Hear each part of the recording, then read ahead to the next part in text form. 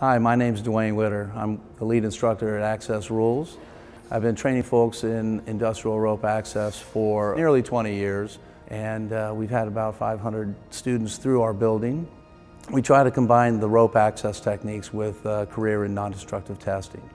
Well, the first priority is always going to be about safety. Uh, we work in a hands-free environment, so as much as we can leave our hands free to do our job. I've been asked to take a look at the Olympus 6LT. It was designed specifically for rope access. It allows us the opportunity to work hands-free so we don't have all of our uh, additional equipment tangled up. The less wires, cables, things that we have wrapped around our ropes, the better off we are.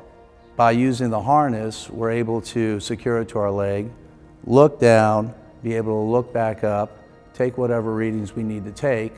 Truly, it's what the industry has needed for a long time because we are safer and we do work hands-free.